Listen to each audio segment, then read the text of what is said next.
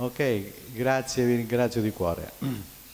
È veramente con grande piacere questa sera che porto il saluto dell'amministrazione comunale di Soveria Mannelli e soprattutto i ringraziamenti per aver scelto anche il nostro comune per questo evento così importante e quanto mai opportuno per la salute dei cittadini in sostanza. Saluto, consentitemi con grande affetto, il nostro ex direttore sanitario, il dottore Tomasello, oggi dirigente presso il Dipartimento di Prevenzione dell'ASPA, dell'ASPA di Catanzaro e amico soprattutto della nostra comunità. Saluto anche il dottore Tomaino, attuale direttore sanitario del presidio ospedaliero di Soveria Mannelli, anch'egli amico della nostra comunità e attento ai molti problemi che la sanità pubblica sta vivendo purtroppo da un po' di tempo nel nostro territorio. La nostra è una comunità aperta, capace di grandi sacrifici e anche di grande gratitudine, soprattutto vive un luogo fortemente svantaggiato rispetto ai centri più importanti della nostra regione e per questo che siamo particolarmente contenti per questa attenzione particolare che ci hanno voluto dare. Saluto e ringrazio la dottoressa Spinelli che è il responsabile del centro di prevenzione della ASP di Catanzaro, la dottoressa Carigiuri, il dottore Furgiuele, il dottore Galea, direttore dell'unità operativa di radiologia del presidio di Lamezia Terme, che saluto anche a nome del dottore Gabriele mi ha pregato di farlo perché è impegnato in altre attività istituzionali. Saluto e ringrazio la dottoressa Molinaro dell'unità operativa di oncologia del presidio di Lamezia Terme che ringrazio per la sua attività a favore anche del nostro ospedale. Ma mentre l'unità operativa di prevenzione, questo consentitemelo, i relatori mi consentiranno questa digressione, ma è doverosa per un sindaco, che è stato anche medico fra l'altro. Mentre la vostra unità operativa si è attivata in maniera meritoria, direi, per svolgere questo fondamentale servizio oggi a Soveria e che ci rende particolarmente lieti. La stessa cosa non possiamo dire però per le altre funzioni del nostro ospedale, che meriterebbero uguale premura e che invece l'ASP di Catanzaro non sta valutando con la dovuta attenzione e importanza. Importanza che le aree interne meriterebbero perché potenziali vettori di sviluppo dell'intera regione. A Soveria abbiamo un ospedale quasi completamente ristrutturato, con due sale operatori completamente ristrutturate e a norma, e ciò è stato fatto con i soldi dei contribuenti perché sottovalutare questa risorsa? Perché sottoutilizzarla? Perché non metterla a disposizione dell'utenza di questa zona montana disagiata? Poche cose occorrono ancora. Gli interlocutori non sono quelli che purtroppo dovrebbero ascoltare queste mie parole, ma c'è bisogno della determinazione e soprattutto della volontà di farle. Il tema di oggi, e finisco, per dirlo con un noto motto, è prevenire meglio che curare. Tre sono gli screening gratuiti che lo Stato italiano mette a disposizione dei cittadini. Lo screening del tumore del colon retto, del collo dell'utero, del seno. E bisogna dire che la prevenzione è sicuramente l'azione o l'attività che mira a ridurre la mortalità, la morbilità o gli effetti dovuti a determinati fattori di rischio o una certa patologia, promuovendo la salute e il benessere individuale e collettivo. Un giorno forse, non sappiamo se sarà tanto lontano, vi chiedo scusa, basterà una pillola per tenere lontano il cancro, forse succederà, lo vedremo questo giorno, non si sa, ma oggi Sicuramente oggi è la prevenzione la migliore arma per vincere il cancro. Ed è alla nostra portata, alla nostra portata di ogni giorno. Basta non iniziare a fumare o smettere al più presto. seguire un'alimentazione equilibrata e salutare, praticare sport e sottoporsi periodicamente ai controlli, ai controlli che fortunatamente lo Stato ci dà gratuitamente. Prevenire e vivere. Il cancro, nonostante rappresenti ancora oggi una delle principali cause di morte e la sua diffusione sia costantemente in aumento, è in gran parte prevedibile. L'obiettivo quindi nostro è quello di sconfiggere i tumori attraverso la prevenzione ed è quello che l'unità operativa di prevenzione sta facendo stasera a Soveria Mannelli. La prevenzione si può dividere in prevenzione primaria, che è la forma classica e principale della prevenzione, focalizzata sull'adozione di interventi e comportamenti in grado di evitare o ridurre a monte l'insorgenza e lo sviluppo di una malattia. La maggior parte delle attività di promozione della salute verso la popolazione sono ad esempio misure di prevenzione primaria, come queste di questa sera, è una misura di prevenzione primaria, in quanto mirano a ridurre i fattori di rischio da cui potrebbe derivare un aumento dell'incidenza della patologia. Ridurre i fattori di rischio come il consumo di tabacco, l'errata alimentazione, la sedentarietà, l'eccessivo consumo di alcol, l'eccessiva esposizione ai raggi solari e si attua con il coinvolgimento della popolazione che fortunatamente stasera è costituita da giovanissime, ci sono anche delle signore, ma la maggior parte sono giovanissime a, alle quali potrà essere molto utile quello che ascolteranno in seguito. Questo è il senso vero di questa giornata, per la quale, lo ripeto, siamo grati a tutta l'equipe del Dipartimento di Prevenzione dell'ASP di Catanzaro. Poi c'è la prevenzione secondaria, previene i tumori mediante la diagnosi precoce, con il fine di ridurre la mortalità, l'invasività degli interventi e migliorare la qualità della vita.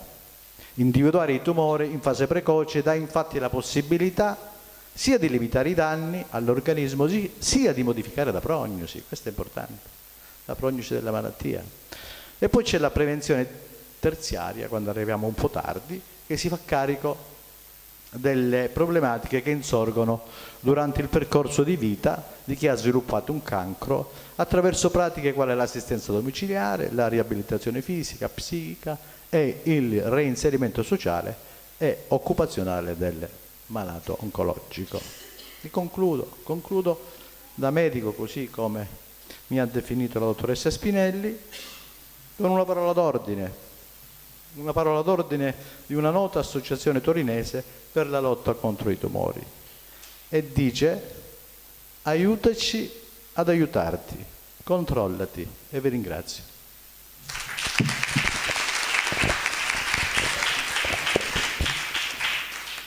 In realtà eh, volevo però mettere in evidenza una cosa. Il presidio ospedaliero di Soveria Mannelli riveste una grande importanza anche relativamente alla prevenzione, perché eh, per quello che riguarda lo screening mammografico abbiamo il servizio di radiologia che è diretto poi dal referente clinico dello screening mammografico che è qui presente il dottore Galea e che eh, eroga le mammografie di screening alle donne aventi diritto in maniera gratuita e quindi rappresenta un importante momento di incontro eh, con la popolazione. Esiste anche poi il laboratorio di patologia clinica che è il punto di riferimento dell'intera provincia di Catanzaro per quello che riguarda lo screening del colon retto. I saluti ora del eh, direttore sanitario eh, del presidio ospedaliero di Soveria Mannelli, il dottor eh, Tomaino. Un saluto brevissimo a tutti voi che siete intervenuti, al Sindaco per eh, la bellissima ospitalità che ci ha riservati. E permettetemi un saluto particolare e soprattutto un ringraziamento al dottore Claudio Tomasello che anche se non più in veste di direttore sanitario dell'ospedale di Soveria, ma oggi presente in veste di dirigente medico del Dipartimento di Prevenzione, ha avuto a cuore questa iniziativa proprio nelle città di Soveria Mannelli. Stesso ringraziamento va ovviamente anche alla dottoressa Annalisa Spinelli, che è responsabile del centro screening oncologico e organizzatrice materiale di questo evento, nonostante i pochi mezzi informatici e il lavoro mostruoso che ha fatto per organizzare e per mandare avanti tutte queste iniziative. Eh, un ringraziamento a voi tutti che siete intervenuti e speriamo che questo sia l'inizio per eh, continuare con altre iniziative che possono portare alla città di Soveria benessere ai cittadini, ai suoi cittadini. Grazie e arrivederci. Bene, io sono eh, sicura del buon successo di questa iniziativa perché abbiamo un pubblico rappresentato da soggetti di età diversa, magari con interessi diversi, che possono insieme riuscire a rendere sempre più fitta questa rete che noi stiamo cercando di creare a tutela della salute.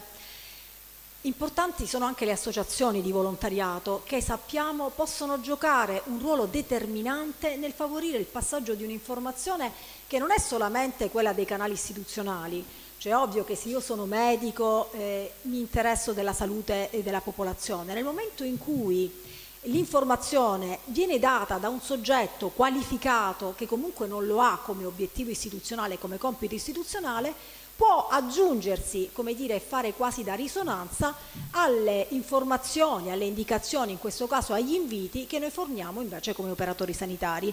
Quindi ringrazio tutte le associazioni presenti, il Comitato Pro Ospedale del Reventino con il Presidente Antonello Maida, l'Associazione Proloco di Soveria Mannelli con il Presidente Antonio Ferrante, l'Associazione Telematica Liberi TV che oltre a realizzare un servizio su questa iniziativa farà una ehm, trasmissione integrale dell'intero convegno da trasmettere su una rete locale. L'associazione culturale Fiore di Lino, perché Soveria Mannelli si caratterizza comunque per essere molto fervida dal punto di vista culturale, anche questa struttura è eh, intitolata infatti a una persona che si è disinta, eh, Marotta, per la sua grande cultura, il suo interesse. L'Avis comunale di Soveria Mannelli che ci ha dato una grandissima mano sul territorio non solo di Soveria Mannelli ma che in questo caso ha rappresentato veramente la differenza nello screening mammografico e vi dico perché. Noi abbiamo iniziato ad invitare tutta la popolazione di Soveria Mannelli, le donne dai 50 ai 69 anni, ad effettuare le mammografie di screening gratuite nel vostro presidio ospedaliero, nel nostro presidio ospedaliero di Soveria Mannelli. Ma la risposta era stata, non dico deludente, ma praticamente prossima allo zero. E noi ci siamo allarmati, per questo siamo qui oggi. Abbiamo però pensato di far recapitare a mano direttamente alle persone interessate la lettera di invito da parte dei volontari dell'Avis che svolgono questa azione come tutti i volontari in maniera assolutamente gratuita. Questo ha già fatto la differenza perché noi nelle prime due sedute di gennaio che sono quelle di lunedì e quella di oggi, abbiamo registrato un'adesione eh, all'invito di screening che è quella che noi ci auguravamo. Un'adesione che comunque rimane bassa perché è del 30%, ma è che è quella minima che noi ci eravamo posti come obiettivo. Possiamo fare di più e riusciremo a farlo vostra, eh, col vostro aiuto. Ringraziamo poi il Club Alcolisti in Trattamento con il responsabile Bruno Villella che ha sposato anche questa nostra causa ed è qui presente a questo convegno e poi anche il mondo della scuola che eh, in questo caso giocavamo come dire in casa perché il mm, eh, dirigente scolastico è il cugino della nostra eh, Emilia Caligiuri e forse la genetica che conta anche nel cancro, conta anche nelle azioni positive che sono di contrasto alla mm, presenza del cancro. Per cui ringraziamo tutti gli studenti e vi invitiamo a fare tesoro delle informazioni che raccoglierete e a eh, trasmetterle ai vostri cari quando ritornerete nelle vostre famiglie. Oggi abbiamo anche la possibilità di prenotare gli esami di screening nel fondo della sala c'è un'operatrice del centro screening per fornire informazioni e indicazioni sugli esami e in alcuni casi fornire anche la data degli esami. Dicevo che il presidio ospedaliero di Soveria Mannelli è il centro di riferimento perché vengono analizzati gli esami FOBT che servono per ricercare la presenza di sangue occulto nelle feci e quindi per la diagnosi precoce del tumore del colon retto, ma anche di quelle lesioni che non sono ancora tumore e che se vengono identificate e asportate evitano proprio che si metta in moto il meccanismo polipo-tumore. Invito quindi a porgere i suoi saluti il dottore eh, Giuseppe Ivan Potente che è direttore della patologia clinica del presidio ospedaliero di Soveria Mannelli a tutti e grazie, grazie per questo invito. Nel ringraziare Annalisa ringrazio tutti perché altrimenti rischiamo dire, di diventare ipertrofici rinominandoci. Eh, ringrazio tutti che, coloro che hanno voluto questa manifestazione e in primis il sindaco e ringrazio tutti i colleghi che hanno ritenuto di voler partecipare ad un evento così importante. Noi siamo laboratori di riferimento dal 2008, dico noi impropriamente perché io questa cosa me la sono trovata e nel trovarmela non posso non ringraziare chi all'epoca ebbe la lungimiranza di inserire la patologia clinica di Soveria Mannelli e quindi l'ospedale in questo percorso, la dottoressa Luciano che mi ha preceduto e che voi conoscete tutti, quindi mi sembrava doveroso diciamo, rinominarla e ridarle questo merito. Siamo laboratori di riferimento, grazie. Siamo laboratori di riferimento del FOBT, è un test di una dal punto di vista concettuale di una semplicità unica, sicuramente non invasivo, che consente di identificare quei sanguinamenti che possono essere eh, patognomonici di una lesione importante e quindi di arrivare ad una diagnosi precoce se non precocissima, come diceva eh, Annalisa Pocanzi. Eh, il target di riferimento alla popolazione del, dello screening del colon retto è una certa fascia di età, ma noi abbiamo anche diciamo, la possibilità come laboratorio di in tutte quelle situazioni dubbie di ricorrere a questo tipo di esame per dirimere questioni che possono essere importanti. Eh, vorrei eh, utilizzare questi pochi minuti per dare diciamo, un servizio. In che senso? Nel senso noi eh, come eh, struttura eh, siamo disponibili dire, ad accettare direttamente i campioni eh, che vengono, o anche a, a consegnare la provetta perché, affinché questo test possa essere fatto nei tempi dovuti. Naturalmente per fare questo non è possibile che diciamo, chi ha bisogno di questo tipo di accesso lo possa fare a tutte le ore, dovrà avvenire negli orari di apertura dello sportello, quindi dalle 11.30 alle 13.30 prevalentemente il campione una volta accettato, il target che ci siamo dati è di processarlo entro 48, massimo 72 ore, quindi voi lo portate, lo stocchiamo noi in, nei, nei, frigoriferi di riferimento oppure potete portarlo voi, però diciamo, potete tenerlo voi 24 ore in frigo, ma non di più perché noi abbiamo appunto per dare la massima qualità possibile ci siamo dati questo eh, excursus temporale massimo, quindi questo eh, a garanzia del paziente. È anche importantissimo poiché nella, nella raccolta del campione eh, viene allegato un, un, opuscolo informativo, è anche importantissimo che chi raccoglie il campione, quindi il paziente, si attenga a quello che l'opuscolo eh, informativo dice, raccogliendolo per come viene descritto, perché la fase preclinica per quanto riguarda un, un, esame di questo tipo è una delle fasi più importanti e il medico o l'operatore non la controlla direttamente perché è il paziente che porta il campione, quindi attenersi alla dinamica prevista dall'opuscolo informativo è di fondamentale importanza per evitare che si possano avere quelli che in gergo vengono definiti dei falsi negativi, cioè dei soggetti che hanno del sanguinamento ma che non avendo raccolto il campione nella maniera esatta eh, risultano completamente negativi. Eh, questo mi sembra un messaggio importante da dare, ribadendo che la struttura di Soveria Mannelli, eh, che è, stato, è, stata a lungo un fiore all'occhiello e secondo me per tanti versi lo è ancora, della sanità provinciale, è una struttura pubblica. Questo tipo di progettualità è una progettualità, mi riferisco alla prevenzione, che ha un suo divenire, cioè investe dei soldi, che sono anche dei soldi eh, che come dire, eh, sono degli investimenti che possono essere importanti, per avere un ritorno a distanza di molto tempo, perché se tu previeni e non ti ammali di cancro, hai speso molti soldi in questo momento, però c'hai dei soggetti più sani che non dovranno ricorrere a delle cure ben più importanti e ben più gravosi dal punto di vista del Servizio Sanitario Nazionale, ma anche dal punto di vista di tutto quello che è il circuito che si innesta nell'assistenza di un paziente che poi va incontro ad una patologia, patologia più seria, più grave e anche potenzialmente va incontro a processi di, eh, ha bisogno anche di assistenza domiciliare e quant'altro. Per cui è evidente che questa è una progettualità che può essere gestita solo da un servizio sanitario pubblico, che ha nel pubblico il suo sistema di riferimento e che vede, voglio dire, il, mm, la, il suo futuro in un sistema a garanzia di tutti. Per cui Dopo avervi dato queste notizie vi invito a diffidare da tutti coloro che vi dicono che il futuro della sanità è una, una progressiva eh, privatizzazione. Noi siamo da sempre, noi come Italia, nei primi quattro, quattro diciamo così, servizi sanitari mondiali, abbiamo un target elevatissimo e dal punto di vista numerico spendiamo molto di meno rispetto a, quando, a quanto spendono società o sanità che risultano più complesse ma che in realtà scivolano agli ultimi posti della classifica dell'OMS. Grazie.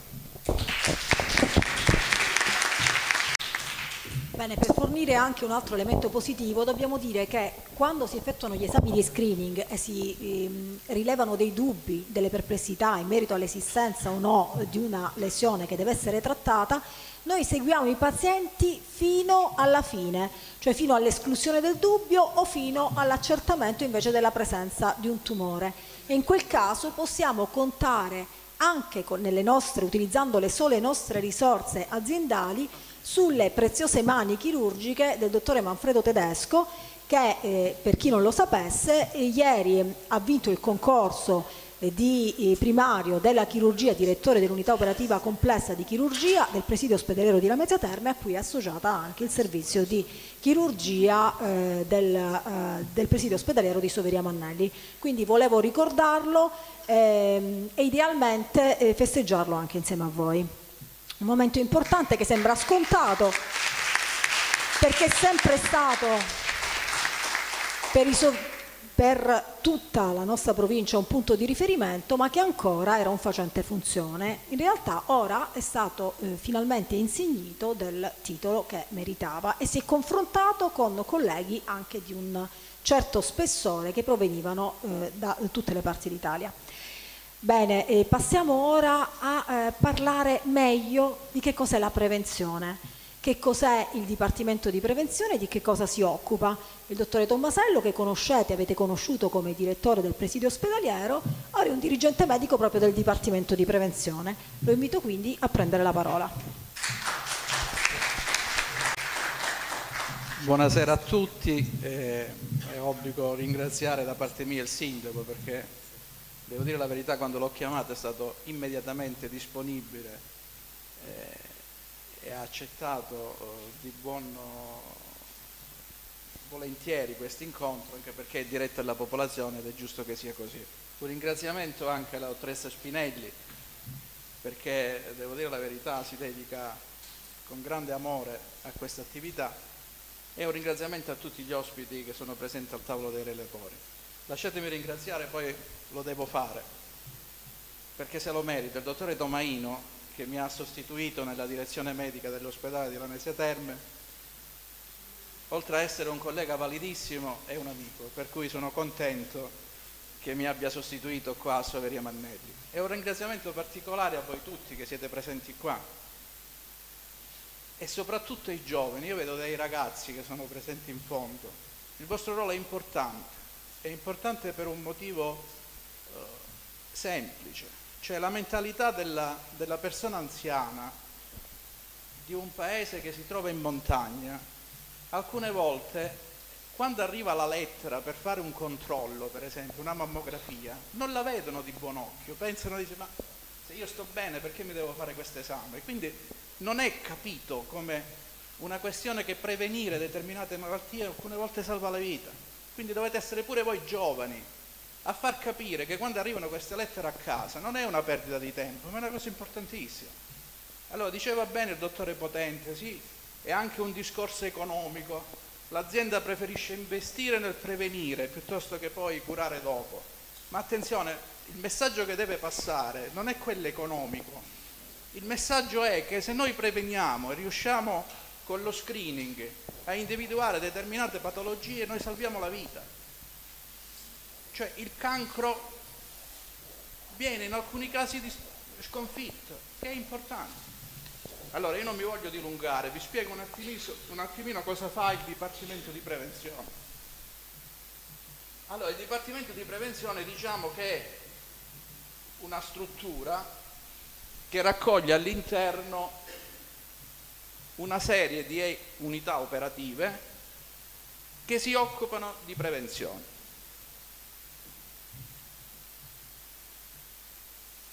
E per spiegarvelo qual è, che cosa fa questo Dipartimento di Prevenzione, io vi faccio vedere alcune slide, però vado velocemente perché sennò vi annoio. Allora, tutela la salute della collettività e come tutela riducendo o cercando di annullare i fattori di rischio che sono nell'ambiente di vita e negli ambienti di lavoro. E come fa questa cosa qua? Come riesce a tutelare? Cercando di vigilare e di vigilare praticamente sulle attività commerciali. Perché sono importanti le attività commerciali? perché anche l'igiene, gli alimenti che noi consumiamo potrebbero essere un fattore che inducono un domani a uno sviluppo di una patologia neoplastica. Vigila ancora sulle comunità, sulle attività commerciali e sulle attività sportive. Non a caso noi abbiamo per esempio all'interno del Dipartimento di Prevenzione la medicina dello sport. Andiamo ancora avanti velocemente. Come cerca di prevenire queste malattie tumorali? Cerca di prevenirle con lo screening e con iniziative educative. Ecco, quello che noi stiamo facendo questa sera è un'iniziativa educativa. Cerchiamo di dare dei messaggi in modo che la collettività capisca qual è l'importanza dello screening e poi di conseguenza, e quindi a che cosa lo diamo noi questi messaggi? Lo diamo alla collettività, lo diamo alle scuole, di conseguenza poi ci, ci porta a fare degli esami in modo da portarci a una diagnosi precoce. E quali sono questi esami? Poi ci sarà il dottore Galea che illustrerà meglio, il dottore Potente fa una parte, cioè diciamo la mammografia, la conoscopia, la ricerca del sangue occulto nelle feci, sono tutti esami che, come ha detto prima la dottoressa Spinelli, vengono erogati dal sistema sanitario nazionale in modo gratuito. Altra cosa di cui si occupa il, Dipartimento di Prevenzione sono le vaccinazioni. Anche queste sono estremamente importanti per la malattia tumorale e quindi soprattutto per le giovani donne eh, eh, il tumore del collo dell'utero probabilmente è indotto da un virus. Se noi andiamo a vaccinarci, che è disponibile questo, virus, questo vaccino contro questo virus, probabilmente questo tipo di tumore un giorno sarà sconfitto. In quale altro campo opera ancora il Dipartimento di Prevenzione? Vado veloce.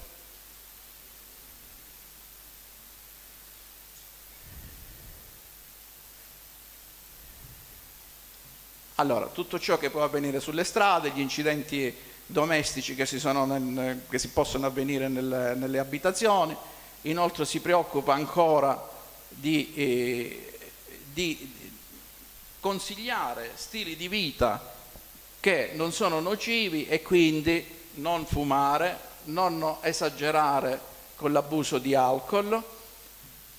Altra cosa di cui si occupa, come vi dicevo prima, è la medicina del lavoro per cui c'è l'ispezione sui cantieri, vado veloce, le visite sugli operai, eh, detiene il registro poi degli eventuali incidenti sul lavoro, va ancora avanti, diciamo di che cosa si occupa ancora, igiene degli alimenti, ancora avanti e cerco di concludere, tutto ciò che riguarda l'igiene degli alimenti, le produzioni di, eh, di carni e cose varie, andiamo ancora avanti, ecco qua siamo alla sanità animale come vi dicevo prima, anche questo è un argomento della, della, uh, del Dipartimento di Prevenzione dove c'è come avvengono, no, non, vi, non, mi dilungo in queste cose, eh, gli allevamenti, da dove prevengono gli animali, come vengono diciamo, eh, nutriti, eh, qual è eh, il registro, eh, diciamo poi, i prodotti che vengono fatti da questi animali, da che cosa provengono, quindi noi riusciamo a controllare tutte queste cose. Andando ancora avanti e mi, e mi accingo a concludere, io vi faccio un esempio che forse vi colpirà. Allora, voi pensate, l'adenocarcinoma del colon non nasce come tumore, ma nasce come polipo dell'intestino. Ok?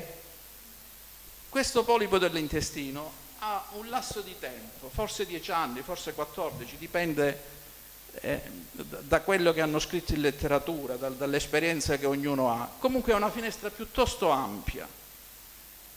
Se noi riuscissimo a far capire alle persone che quello è il momento, quella finestra, è essenziale per fare le attività di screening, io vi posso garantire che eh, riusciremo a raggiungere un risultato eccezionale, almeno per il tumore del colon. Non dico che sarà sconfitto completamente, però risultati veramente eccellenti. E quindi il messaggio che voglio lasciare io qual è? Più facciamo prevenzione e sicuramente avremo un futuro senza cancro. Quindi queste cose ditele. E ho concluso, grazie. Grazie dottore Tommasello, hai fatto bene a presentare tutte le attività del Dipartimento di Prevenzione, perché io se chiedessi a qualcuno di voi che cos'è l'ospedale, di che cosa si occupa, tutti mi sapreste rispondere.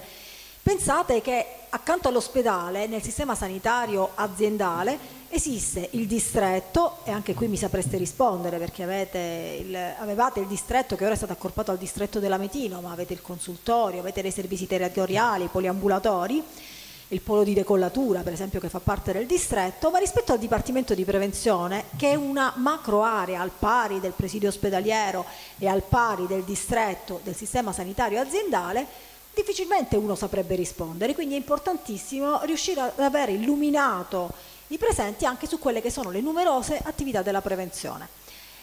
Bene, eh, abbiamo detto che la prevenzione è finalizzata a contrastare i fattori di rischio, che, badate bene, che si parli di malattie tumorali, che sono la seconda causa di morte, o di malattie cardiovascolari, che sono la prima causa di morte oggi, nei paesi occidentali ed anche in Calabria, i fattori di rischio sono sempre gli stessi e principalmente sono fattori di natura comportamentale. Cerchiamo di capire allora come dobbiamo comportarci. Ne parliamo con il dottore Giuseppe Furgiuele. Grazie. Vi ringrazio soprattutto perché siete venuti qui stasera e ringrazio soprattutto i ragazzi perché quando si tratta di tematiche di salute i ragazzi sembrano lontani, soprattutto una serata come questa dove si parla di tumori, però veramente possono diventare il volano per le buone pratiche all'interno delle famiglie. Il dottore Tomasello che ha parlato prima di me, col quale lavoro tutti i giorni al Dipartimento di Prevenzione, diciamo, ha fatto un pochino uno schema su tutte le attività del Dipartimento però nel concreto che cos'è la prevenzione? La prevenzione mira a ridurre la mortalità e la morbilità e gli effetti dovuti a determinati fattori di rischio. In altre parole, la prevenzione significa venire prima di una determinata patologia. Io quando devo spiegare un pochino eh, che cos'è la prevenzione nello specifico, porto sempre questa slide che i miei colleghi conoscono benissimo perché mi prendono pure in giro sempre per questa vasca da bagno. Però è, è esplicativa perché? Immaginate una vasca da bagno con un rubinetto. Eh, l'incidenza, cioè l'acqua che entra, sarebbe il numero di nuovi casi di una determinata patologia, mentre la prevalenza, cioè l'acqua che si accumula, sarebbero i casi presenti di quella determinata patologia. Si può uscire dalla vasca in due modi, come vedete lì, o attraverso la guarigione o attraverso la morte. Noi invece abbiamo una terza via, non entrare per niente all'interno della vasca, questa è la prevenzione. Quindi ecco perché utilizzo spesso questa slide per spiegarla. Prima il dottore Potente ha toccato il tasto della, dei soldi che si risparmiano con la prevenzione. È importante anche questo, perché guardate lì, ogni miliardo dedicato alla prevenzione ne fa risparmiare tre in minor cure e riabilitazione, che potrebbero essere poi utilizzati per eh, altro tipo di attività sanitarie. Infatti un sistema salute basato sulla prevenzione può guidare il vero processo di cambiamento del sistema sanitario nazionale attraverso la dimostrazione del valore economico delle buone pratiche di cui parlavamo prima. A seconda degli obiettivi e delle modalità abbiamo tre tipi di prevenzione, prevenzione primaria, secondaria o terziaria. La prevenzione primaria, cioè eh, rimuovere i fattori causali di una determinata patologia, quindi arriva prima. La prevenzione secondaria invece è la diagnosi precoce, quindi gli screening oncologici e la prevenzione terziaria, i controlli successivi alle guarigioni.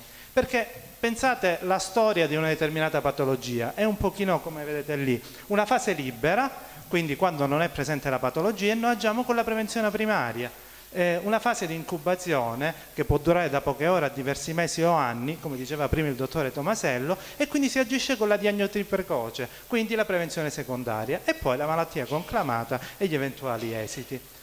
Quindi abbiamo parlato di prevenzione, ma poi alla fine a che serve? Serve per stare bene, stare in salute. E quindi nel concreto che cos'è la salute? Detta così potrebbe sembrare un'assenza di malattia, eh, invece realmente non è così, è uno, uno, stato di benessere molto più completo perché è uno stato fisico, mentale e sociale, è una vera e propria risorsa della vita quotidiana, quindi non va intesa solamente come un fenomeno statico, solamente eh, esclusivo dominio dei servizi sanitari, ma un fenomeno sia individuale e sia sociale, perché noi facciamo, stiamo in salute e promuoviamo salute verso la comunità che è quello che stiamo facendo per esempio in questo momento. Perché la salute dipende principalmente da una serie di comportamenti. Per esempio, azioni consistenti nel fare. Il comportamento alimentare, il comportamento alimentare dipende da noi, dipende da quello che mangiamo, come scegliamo gli alimenti, oppure azioni consistenti nell'astenersi del fare. Ad esempio non fumare, nessuno ci obbliga a fumare, però noi lo facciamo. Quindi pensate quanto siamo legati a questo concetto di salute e poi eventi mentali o sensazioni. Ma la salute è un concetto talmente ampio che ricopre istruzione e formazione, lavoro, il benessere economico, le relazioni sociali, l'ambiente, la ricerca, la qualità dei servizi. Il, il comune, ad esempio, è un promotore di salute attraverso le buone pratiche. Quindi parlare di salute ormai al giorno d'oggi è sinonimo di benessere. Per cui la domanda che ci poniamo quando parliamo di questo, ma il mondo è in salute? Non è purtroppo in salute perché c'è un'altissima prevalenza di malattie cronico-degenerative, quindi malattie cardiovascolari, tumori, diabete, eccetera. E il 70-80% delle risorse sanitarie a livello mondiale sono spese proprio per curare questo tipo di patologie e nel 2020, quindi non stiamo parlando l'anno prossimo praticamente, tali patologie rappresenteranno l'80% di tutte le patologie del mondo. Pensate che il 60% di tutti i decessi è dovuto a questo tipo di patologie. Ora che abbiamo visto il quadro epidemiologico mondiale, piano piano ci avviciniamo a noi con quello italiano. Purtroppo la situazione è la stessa, le malattie cardiovascolari la fanno da padrone, seguite dai tumori, le malattie respiratorie croniche e la domanda dei servizi sanitari, soprattutto per i soggetti anziani che sono in aumento, è diventata sempre più alta e anche qui è cresciuto l'ammontare delle risorse economiche. Eh, quindi sia il mondo sia lo Stato italiano purtroppo ha, eh, deve affrontare adesso ma soprattutto nei prossimi anni questa sfida per combattere le malattie cronico-degenerative e nel nostro piccolo dobbiamo fare anche come nella nostra regione Calabria. Siamo una regione non molto grande eh, e non molto popolata. Eh, però siamo caratterizzati da tre punti principali, forti flussi migratori in uscita e quindi scarsi flussi migratori in entrata, indici di natalità molto bassi, soprattutto negli ultimi anni, E il, punto che voglio sottolineare sono gli indici di vecchiaia, in costante aumento con tutte le implicazioni sociali, economiche e soprattutto sanitarie. L'indice di vecchiaia sarebbe il numero di anziani rispetto al numero di eh, giovani presenti in un determinato luogo. Pensate che eh, nel 2017 l'indice di vecchiaia per la Calabria ci dice che ci sono 155 anziani ogni 100 giovani ed è in costante aumento nei prossimi dieci anni ci sarà una diminuzione dei giovani, soprattutto dei giovanissimi, e un aumento degli anziani dal 19 al 24%, con un aumento soprattutto di quell'indice di vecchiaia che vi parlavo, che da 155 passerà a 180, quindi aumenterà sempre di più il numero di anziani all'interno del, eh, della nostra popolazione. E questo che cosa comporta? Un aumento di determinate patologie, soprattutto quelle cronico-degenerative, perché sono patologie molto spesso legate eh, all'invecchiamento e quindi anche il sistema sanitario dovrà affrontare questo tipo di problema. Eh, noi nella giornata di oggi, a parte le malattie cronico-degenerative in genere, parliamo dello specifico di tumori. Nella nostra regione si stima una prevalenza per tumori maligni inferiore al resto del paese, ma generalmente in quasi tutto il sud dell'Italia. Eh, però, nonostante questa eh, incidenza, la prevalenza, eh, nonostante la prevalenza inferiore al resto del paese, gli ultimi dati destano eh, preoccupazione perché gli indici di incidenza sono in costante aumento. Quindi quando sentiamo parlare di tumore e eh, magari io vengo e vi dico stanno aumentando i casi di tumore, ancora di più c'è paura ad affrontare questo tipo di patologie. Eh, ma ci sta, è normale, però non deve essere così, perché dobbiamo conoscere eh, tutto quello che dobbiamo affrontare, tra virgolette. Eh, quando, infatti ogni volta che si parla di neoplasie, di tumore, di cancro, eh, tutti questi termini tendono a portarci proprio ad andare a fare un passo indietro. Ma che cos'è nello specifico? È una massa anomala di tessuto la cui proliferazione cellulare non è soggetta ai normali meccanismi di crescita. In senso pratico, che cosa significa? Che l'organismo umano, come tutti sappiamo, è costituito eh, da cellule che si moltiplicano continuamente per tutta una serie di funzioni eh, si dividono per sostituire le cellule vecchie molto danneggiate e per, per consentire agli organismi viventi di crescere. Durante questa replicazione però sono soggette a una serie di insulti e in alcuni casi questi attacchi eh, controllano la replicazione e permettono, eh, alcune cellule si dividono quando non dovrebbero, generando un numero enorme di altre cellule. Questo non è altro che eh, l'innesco del processo tumorale. Quindi le cellule cancerose sono caratterizzate dalla perdita di controllo della crescita e quindi c'è una proliferazione eccessiva. Quindi, in altre parole, un tumore è una proliferazione incontrollata di cellule impazzite. Detto questo, la domanda che ci poniamo è perché queste cellule impazziscono? Perché è su quello che poi noi dobbiamo eh, agire. Ci sono cause interne dovute a predisposizione genetica, ereditarietà e cause esterne, fumo, alcol, alimentazione sbagliata, sedentarietà e fattori ambientali, che costituiscono circa il 50%.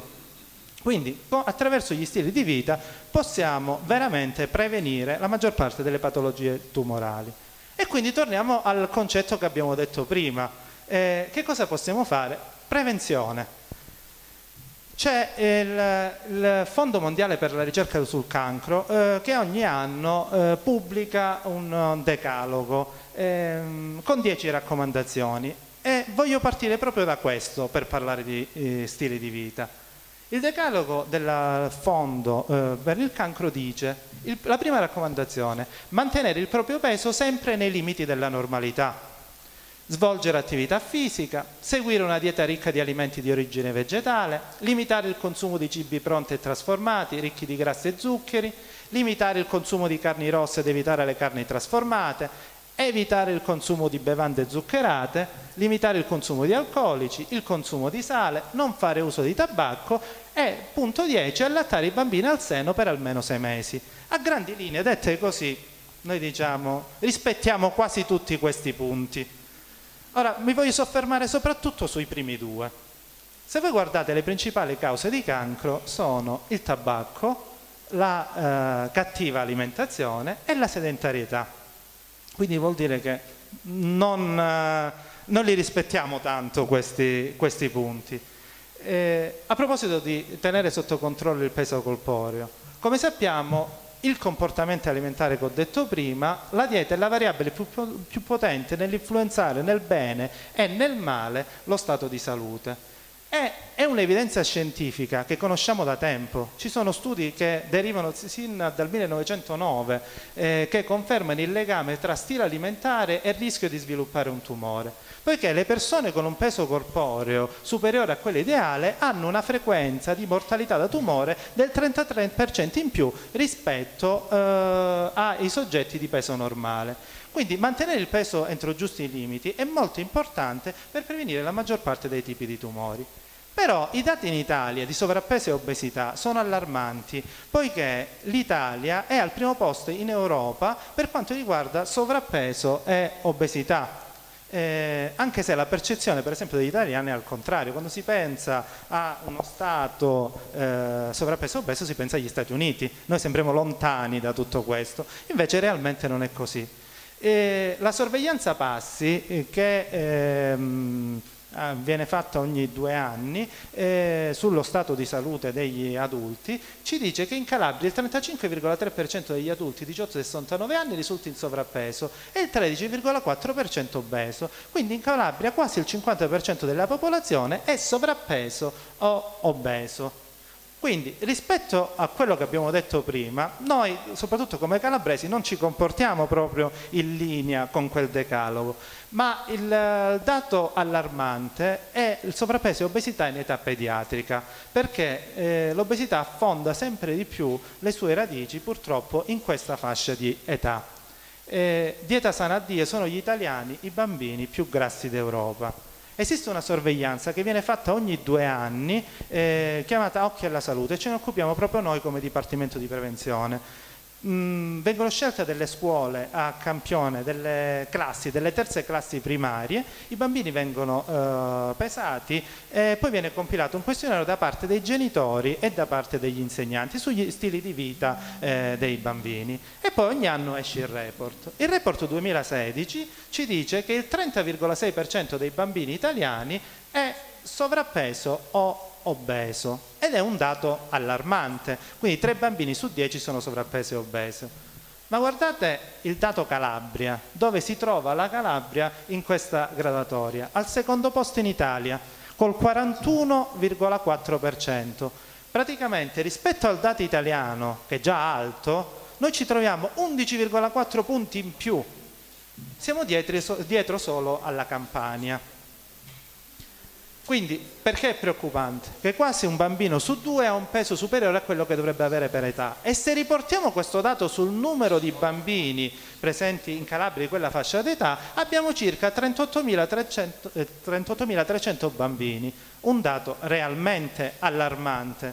Vuol dire che non solo non seguiamo noi il decalogo che abbiamo visto prima, ma soprattutto non lo seguono i nostri, i nostri figli perché un bambino obeso, a parte noi siamo abituati a vedere un bambino obeso, un bambino paffuto, sorridente, che sta in salute, realmente non è così, è il contrario, perché prima si diceva diventerà un adulto malato, no, non è vero, è già un bambino malato, e questo è il, il problema. Ma perché ci sono questi dati? Perché siamo arrivati a questo punto? Errori di associazione alimentare, poco consumo di frutta e verdura, poca attività fisica, troppe ore davanti alla tv o computer e il dato allarmante è l'ultimo, cattiva percezione dello stato nutrizionale dei figli, non da parte dei genitori, da parte delle mamme principalmente. Quindi se toccherò qualcuno di voi che si sente veramente toccato da questo punto di vista, perché purtroppo è così. Guardate questa slide, è veramente un dato allarmante. Lasciamo stare madri di bambini sovrappeso, madri di bambini obesi, si parla di obesità gravi. Il 23,5% delle madri intervistate di bambini obesi ritiene il proprio figlio normopeso e il 65,7% un po' in sovrappeso, quindi non c'è realmente la percezione del problema. Ecco perché eh, siamo, eh, abbiamo questo dato in Calabria perché purtroppo da noi il cibo rappresenta uno strumento per veicolare affetto, un modo per voler bene. Porto sempre questa slide andando a casa di nonna, tornando a casa di nonna, perché è sempre così. le nonne vedono sempre i propri nipoti sciupati. Io una bambina piccola, eh, mia mamma e mia suocera la vedono costantemente sciupata e mi danno tutte le colpe del mondo, però realmente non è così. Ma non solo le nonne, lo fanno pure le mamme. Quando ci sono mamme in sala, quando mh, telefonano magari i figli che sono all'università fuori, qual è la, la domanda che gli fate? Gli esami? No, si è mangiato. ecco il dato da dove, da dove deriva, perché l'ho subita pure io questa cosa. La prima domanda serale era se avevo mangiato e il fine settimana quando tornavo, che ti cucino? La domanda è quella. E quindi purtroppo eh, noi abbiamo questo stato sociale, poi insieme a tutta un'altra serie di fattori siamo arrivati a quel, quel dato eh, che purtroppo è eh, importante. Però come sappiamo ci sono tutta una serie di tumori che sono prevenibili con una sana alimentazione. Ma qual è questo modello alimentare sano? Poi alla fine di tutto, perché poi la domanda è questa. La dieta mediterranea, lo sappiamo benissimo, lo sapevano i nostri nonni, è una cosa di cui parliamo sempre. Dieta mediterranea, patrimonio dell'umanità è riconosciuta in tutto il mondo come un modello di alimentazione sano, fatto di pasta, pane e cereali, latte e derivati e soprattutto tanta, ma tanta frutta e verdura. E quindi ideale per il raggiungimento di un buono stato di salute. E quindi la dieta mediterranea non è solo uno stile alimentare, ma un vero e proprio stile di vita. E tutto questo è un paradosso, perché eh, nonostante la, l'aderenza teorica a una dieta di tipo mediterraneo che è sinonimo di salute, l'Italia detiene il primato europeo di sovrappeso e obesità. Infatti molti studi eh, ci dicono che l'abbiamo inventata noi, ma ormai la segue solo un italiano su cinque.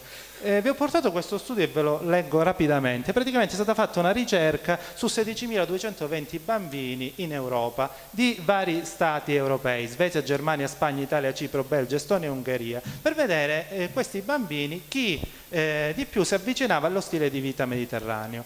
E lo Stato in cui si registra il maggior consumo di cibo associabile alla dieta mediterranea è la Svezia, che di Mediterraneo è abbastanza poco, quindi è lontana da noi, per farvi capire come ci siamo allontanati da questo stile di vita. E il paradosso, oltre ad essere italiano, è soprattutto calabrese, perché la dieta mediterranea è stata, diciamo, scoperta da Ansel Kiss proprio qui in Calabria. Queste sono le foto dell'epoca, quando questo fisiologo eh, statunitense arrivò eh, dagli Stati Uniti perché negli Stati Uniti stava facendo uno studio sulle patologie cardiovascolari. Si era reso conto che c'era una minore incidenza di questo tipo di patologie sugli immigrati che arrivavano dalla, dall'Italia e soprattutto dal sud dell'Italia. E quindi arrivò prima a Napoli e poi qui in Calabria nel 1957 per vedere qual era questa motivazione, come mai c'era questa bassa incidenza di questo tipo di patologie e qual era era che il nicote era per esempio in quel periodo usciva dal dopoguerra, quindi si faceva un'alimentazione fatta di tanta frutta, verdura, cereali, pesce, carne pochissima, perché purtroppo eh, era, si mangiava quello che c'era a quel tempo e quindi si faceva una vera e propria dieta mediterranea, uno stile di vita mediterraneo. Quindi la cucina di tutti i giorni è un, importa- è un importante alleato per la salute. Quindi che cosa dobbiamo fare? Innanzitutto recuperare e mantenere i valori, le tradizioni della nostra cultura alimentare, tornando a quello stile alimentare sano, quindi variando spesso le nostre scelte a tavola e eh, facendo un, un, buon consumo di fibre poiché favoriscono il miglioramento della funzionalità intestinale e riducono soprattutto il rischio del cancro del colon retto perché c'è un minor tempo di contatto delle sostanze cancerogene con la parete intestinale. Molta frutta e verdura, l'ho detto due o tre volte e lo ripeto ancora perché è molto importante. Eh, ora, velocemente, un altro punto, ma veramente veloce il secondo punto del decalogo ci diceva che è importante fare attività fisica. In Calabria coloro che eh, dichiarano di non praticare nessun tipo di attività fisica è pari al 54,2%. Quindi in Calabria più della metà della popolazione è sedentaria. Quindi è in contrasto con quello che abbiamo detto prima. Quindi che cosa fare? Dedicare almeno un'ora al giorno all'attività fisica e al movimento Perché è importante? Perché la perdita di peso riduce la mortalità per il 40% dei tumori, è importante per la protezione per il tumore marmario, sia prima che dopo la menopausa, e l'esercizio fisico riduce il rischio di tumore prostatico. Questi sono tutta una serie di eh, modi in cui l'attività fisica esercita un'azione anticancro, però quello che dobbiamo sapere è che è importante eh, muoversi, quindi sana alimentazione e attività fisica possono essere visti come veri e propri farmaci. E come i farmaci bisogna trovare il giusto equilibrio tra beneficio e rischio. E qualcuno qualche anno fa, Ippocrate, nel 430 a.C., diceva se fossimo in grado di fornire a ciascuno la giusta dose di nutrimento ed esercizio fisico, né in eccesso né in difetto, avremmo trovato la strada per la salute. Quindi qualcuno qualche anno fa ce lo diceva. Noi poi piano piano nel corso degli anni abbiamo dimenticato eh, questi principi. Quindi noi abbiamo il problema, l'incidenza delle malattie cronico-degenerative, principalmente i tumori, e abbiamo la soluzione, quindi sani stili di vita. E quello che dobbiamo fare è scegliere un sano stile di vita. Quindi le parole importanti sono prevenzione, venire prima, ma anche promozione, muovere verso, verso un ambiente sano, verso fattori di protezione. Quindi dobbiamo promuovere la strada giusta e vi lascio con questa frase. Lasciare accadere un male che si può impedire vuol dire praticamente commetterlo. Grazie.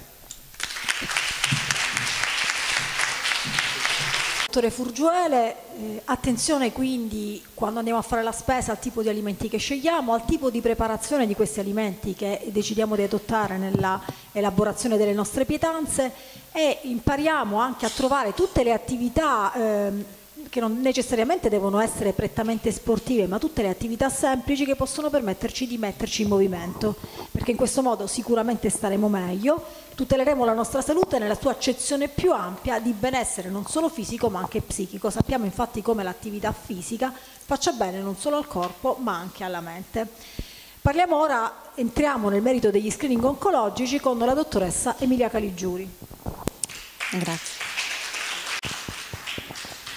Allora, prima di iniziare la mia presentazione ci terrei a fare una piccola premessa. Quando andiamo in giro ad incontrare la popolazione, poi spesso ci chiama la signora di turno e ci dice ho partecipato al progetto dello screening. Ci tengo a precisare che lo screening non è un progetto, e non è neanche una campagna pubblicitaria, non si esaurisce nella giornata di oggi, non si esaurisce qui a Soveria Mannelli. Che cos'è lo screening? Lo screening è un diritto di tutti i cittadini in alcune fasce di età stabilite, è un livello essenziale di assistenza, quindi tutto ciò che il sistema sanitario deve garantire ai suoi cittadini. In parole semplici sono degli esami gratuiti rivolti alla popolazione e vediamo quali sono questi esami. Sono il PAP test per la prevenzione del tumore del collo dell'utero, la mammografia per la prevenzione del tumore al seno e la ricerca del sangue occulto nelle feci per la prevenzione del tumore del colon retto. Ma perché il sistema sanitario ci garantisce gratuitamente questi tre esami?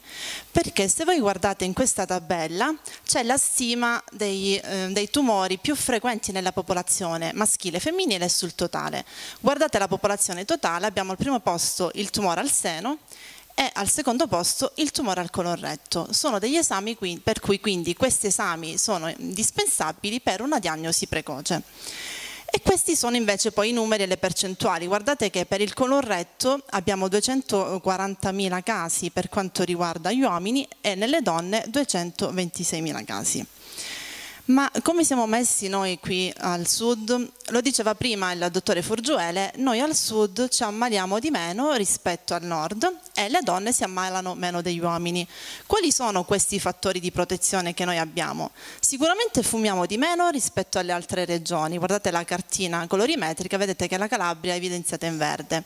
Beviamo meno alcolici, consumiamo meno alcolici rispetto a regioni quali il Friuli Venezia Giulia o il Veneto Sicuramente abbiamo la maglietta nera per quanto riguarda l'eccesso di peso, perché abbiamo detto prima siamo una popolazione a cui piace mangiare, ma che poi si muove poco però consumiamo meno carni rosse rispetto ad altre regioni, anche se è vero, siamo a um, gennaio, periodo di insaccati, qui a Soveria immagino siete in piena attività, io sono una montanara come voi, quindi so che in questo periodo c'è un grande fermento, ma gli insaccati che produciamo sono sicuramente artigianali, quindi meno ricchi di conservanti come appunto quelli industriali. Nonostante ciò, nonostante questi fattori di protezione, però noi abbiamo un livello eh, di sopravvivenza che è più basso rispetto a quelli del nord, quindi sopravviviamo di meno. Come mai? Perché aderiamo poco ai programmi di screening, quindi arriviamo a fare diagnosi di determinate malattie più tardi rispetto ai nostri connazionali, eh, ai nostri, ehm, diciamo, ehm, ai, diciamo, agli abitanti del nord Italia. Ora, scendendo nella pratica, che cosa fa lo screening? Immaginate di avere un setaccio. Quando siete a casa, state preparando un dolce, passate la farina al setaccio, cosa succede? La farina buona passa attraverso il setaccio, le impurità restano sul setaccio stesso. Allo stesso modo noi lo screening passiamo al setaccio la popolazione, quindi cerchiamo tra la popolazione quelle persone che hanno bisogno di interventi terapeutici precoci per migliorare il proprio stato di salute.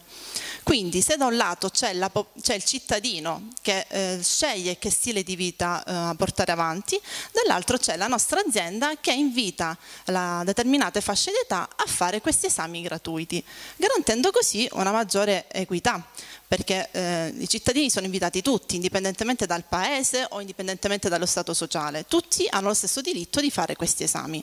E vediamo appunto, scendiamo un po' più nello specifico. Abbiamo lo screening del tumore del collo dell'utero che abbiamo detto rivolto, che, diciamo, è rivolta alle donne dai 25 ai 64 anni, quindi dalle ragazze alle donne più adulte. E si fa ogni tre anni con il PAP test. Teoricamente dovreste ricevere una lettera a casa, purtroppo questo non succede, Quest'anno abbiamo avuto un blocco del software, è stato un anno un po' particolare, però alcune volte succede che si fanno gli inviti ma poi eh, non arriva a destinazione, non vengono consegnati questi inviti per motivi diversi. Per cui quando succede che non arrivano gli inviti avete tutto il diritto di chiamarci e dire vorremmo fare il PAP test e che noi vi prenotiamo.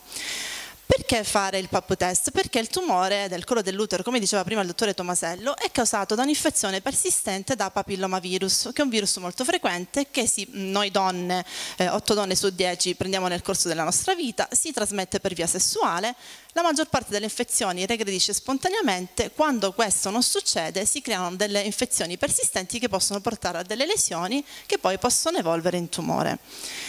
Sicuramente fattori di rischio sono un inizio precoce dell'attività sessuale e partner multipli, ma il fattore di rischio più importante sta appunto nel non aver mai effettuato un PAP test. Noi abbiamo avuto il caso di una ragazza giovane, straniera, residente in Italia, però che non aveva mai effettuato un PAP test ed è stato il nostro mh, mm, caso di cancro dello scorso anno. I consultori sono distribuiti sul territorio e operano per noi attraverso l'esecuzione di questi PAP test gratuiti. Passiamo ora allo screening del tumore al seno, di cui mh, dirò due parole perché poi ci saranno sia la dottoressa Molinaro che il dottore Galea. È rivolto alle donne dai 50 ai 69 anni, sempre gratuitamente con la mammografia. Questo cosa significa? Che le donne di 40 anni, 45 anni non è che non debbano fare la mammografia, ma la fanno con impegnativa. Allo stesso modo le donne dai 70 anni in su. Le donne invece in questa fascia di età, 50-69 anni, lo possono fare gratuitamente attraverso lo screening. l'esame sappiamo tutti che è la mammografia che si esegue ogni due anni, salvo indicazione diversa del radiologo. Gli ambulatori mammografici attualmente in funzione sono tre. Abbiamo il presidio ospedaliero di Lamezia Terme, Catanzaro Lido, ma la cosa fantastica per voi è che abbiamo all'interno dell'ospedale il nuovo mammografo digitale di cui appunto è stato dotato e quindi avete la comodità, voi, così come paesi del comprensorio, di fare la mammografia direttamente a casa vostra, tra virgolette. E poi abbiamo lo screening del tumore del, col del colon retto, che come diceva il dottore Potente è rivolta a uomini e donne dai 50 ai 69 anni e si segue ogni due anni con la ricerca del sangue occulto nelle feci perché, lo diceva prima anche il dottore Tomasello, il tumore origina da un polipo che può degenerare lentamente in tumore nell'arco di 10-15 anni, quindi noi abbiamo tutto il tempo per trovare il polipo, intervenire e interrompere così l'evolversi della malattia. E questa è la provetta che si può mh, ritirare, questa sera distribuiamo anche noi qui in fondo alla sala, si ritira e mh, si fa a casa comodamente, non c'è bisogno di fare la dieta, diamo anche le istruzioni e quindi diciamo che il test è abbastanza semplice da seguire. Ma cosa succede se si viene richiamati perché positivi al test? Non bisogna allarmarsi, chi è positivo al test non, ha, non è una persona al 100% ammalata. Significa che, mh, guardate in questa slide, abbiamo la popolazione in alto rappresentata da tutti i pesciolini, passano il primo test di screening, quindi in questo caso la mammografia o il, um, la ricerca del sangue culturale delle feci o il PAP test, risultano positivi. Significa che quelle persone hanno bisogno di fare degli esami di approfondimento che eventualmente escluderanno o confermeranno la presenza di un tumore. Ogni persona che ha un test eh, di screening positivo viene seguita in tutto il percorso e vengono programmati assieme alla persona gli esami di approfondimento da fare. È lo screening che se ne prende carico, quindi voi non dovete andare dal medico, far vedere l'esame, fare l'impegnativa, chiamare, prenotare, ma è il centro screening che vi segue in tutto questo. Proprio per questo lo screening è un percorso e poi è completamente gratuito. Tutti gli esami eh, di cui abbiamo parlato sono gratuiti così come tutti gli esami di approfondimento. Eh, ci servono questi esami, ci servono perché poi di tumore si può guarire, perché guardate, quelli sono i numeri delle persone guarite nel 2010 con diagnosi di tumore al seno e diagnosi di tumore del colon retto.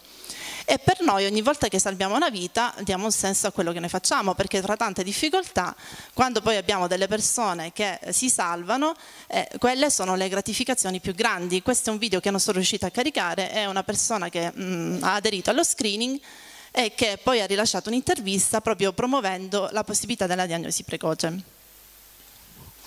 Naturalmente il centro screening per fare tutto questo non lavora da solo, ma lavora con tutte le unità operative e poi collabora con le scuole, con i comuni, con i medici di medicina generale, con le diverse unità operative e i laboratori, proprio per sensibilizzare la popolazione e aumentare l'adesione. Noi in questo caso stasera siamo venuti a parlare con voi proprio perché vogliamo sensibilizzarvi ad aderire allo screening.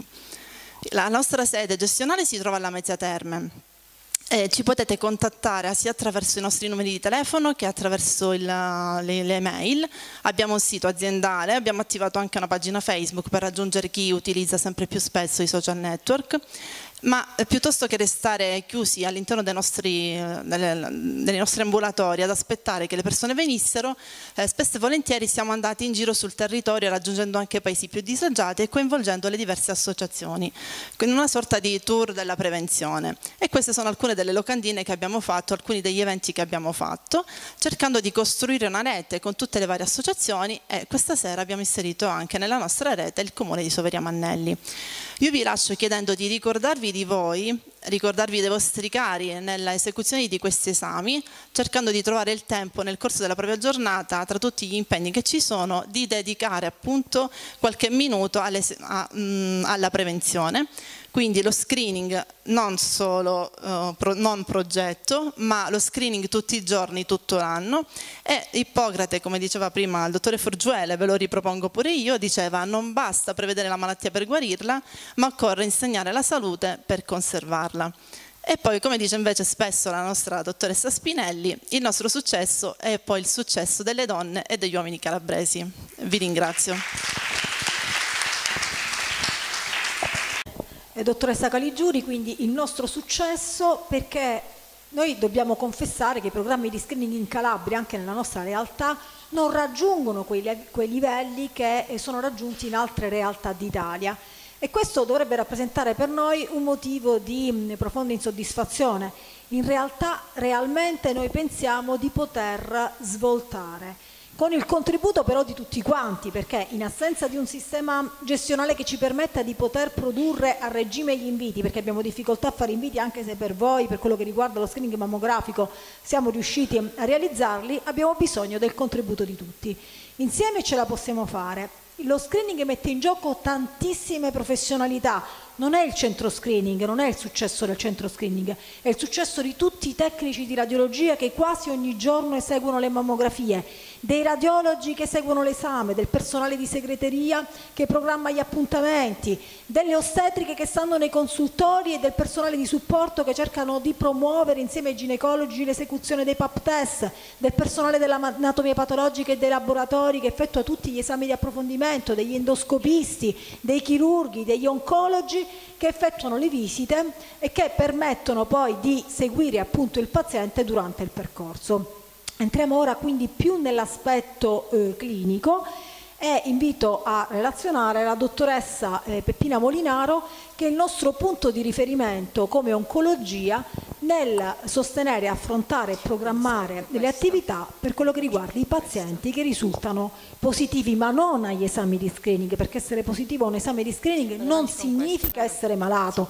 Se doveste mai essere richiamati, perché lo screening funziona in questo modo, la risposta se negativa tarda ad arrivare perché magari la spediamo e non viene recapitata, però se date indicazioni potete anche andare voi stessi a ritirarla i soggetti positivi vengono contattati telefonicamente, per cui importantissimo è lasciare correttamente i vostri dati per poter essere correttamente contattati. E se siete eh, contattati telefonicamente, eh, non mettetevi a piangere, ci è capitato, eh, di persone che pensano di avere direttamente un cancro. In realtà bisogna semplicemente fare degli esami di approfondimento degli esami ulteriori che non necessariamente, magari, cioè sarebbe terribile se confermassero sempre il dubbio. Nell'interesse del paziente, nel momento in cui viene sollevato il minimo dubbio, noi andiamo ad approfondire. Quindi, dottoressa Peppina Molinaro, la donna e il tumore del seno. Un cordiale buonasera a tutti voi che siete intervenuti nonostante il freddo a questa, a questa giornata. Sì, mi pare che si senta, si sente, sì. Eh, ovviamente eh, ringrazio tutti voi per essere presenti e voglio, come i miei colleghi che mi hanno preceduto, voglio ehm, dire, ribadire l'importanza effettivamente di questa giornata e di queste ore che dedichiamo a un argomento così importante, quale è quello che è la salute di tutte le donne. Io vi parlerò in breve del problema del tumore al seno e eh, ho portato queste diapositive mh, eh, cercando di essere piuttosto breve e mh, far capire quali sono le cose salienti che dobbiate sapere. Eh, ho, ho scritto così, cosa sapere, come prevenirlo, che fare. Che cos'è il tumore al seno? Il tumore al seno è una formazione eh, di tessuto costituito da cellule che crescono in maniera incontrollata, come ha detto il dottor Frogiuele, e in maniera anomala all'interno della ghiandola mammaria, che non hanno un freno, ve l'ha spiegato il collega.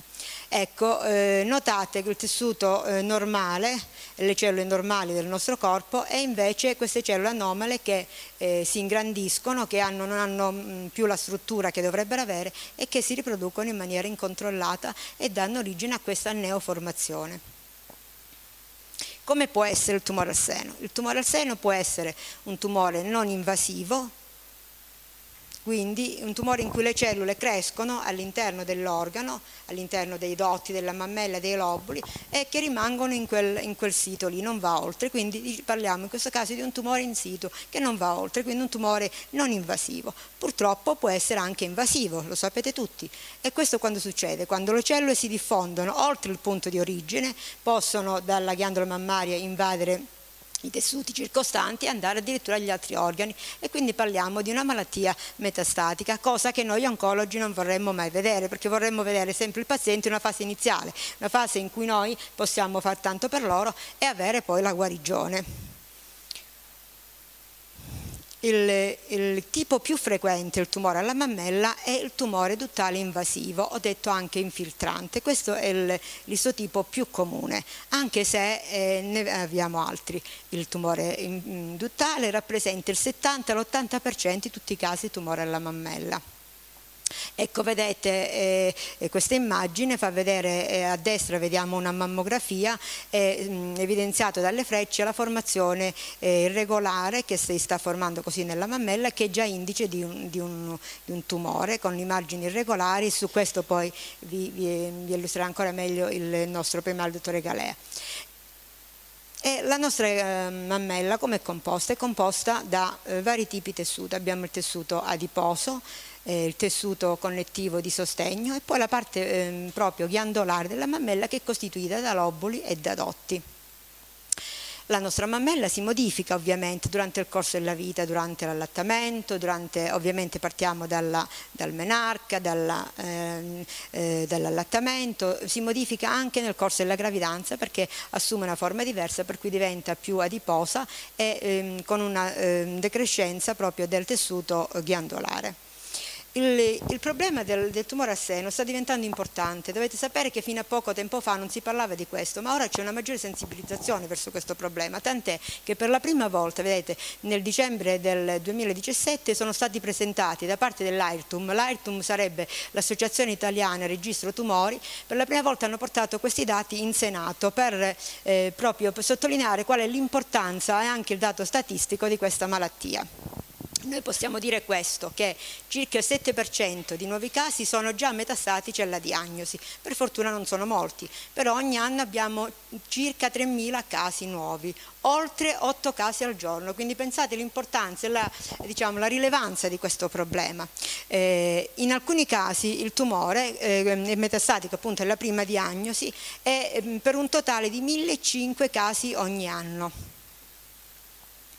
La sopravvivenza però è diversa, cioè ehm, in effetti rispetto al passato c'è un miglioramento da questo punto di vista, per cui negli anni 70 eh, dalla, ehm, la sopravvivenza ehm, era sui 15 mesi eh, più o meno dalla diagnosi, 58 mesi dall'inizio degli anni 2000 e la sopravvivenza a 5 anni dalla diagnosi è, è notevolmente differente, notate un 87%, eh, diciamo, ehm, però ovviamente questa questa sopravvivenza scende man mano che noi ci, un, um, ci troviamo di fronte a un tumore più avanzato, quindi in un tumore metastatico la sopravvivenza a 5 anni è del 30%, a 10 anni invece è della media dell'80%. Questi numeri, i nostri numeri, sono elevati, però um, c'è un dato positivo, sono nettamente inferiori rispetto alla media europea, quindi questo è un vantaggio per la nostra Italia qual è l'età maggiore di rischio di ammalarsi. Nell'80% dei casi